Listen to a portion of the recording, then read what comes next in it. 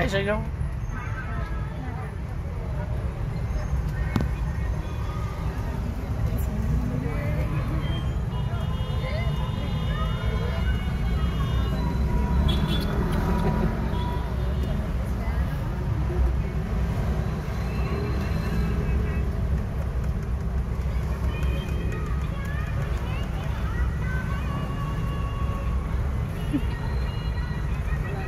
What thing?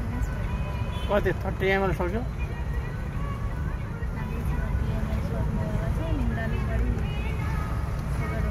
दुध खाएर अस्पताल जाने तयारीमा हो